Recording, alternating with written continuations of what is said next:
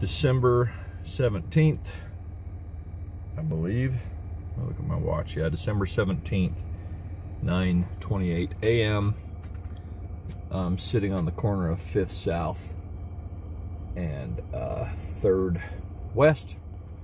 This is the first series of six townhomes that are being constructed right there, and that is the water sewer that is being installed running south to north and tying in water as far as the tie-in is coming into this main line on 5th South and the main line over there on 4th South. Exciting. You can see the apartments over there and all of the other residential homes that are in place. Good time.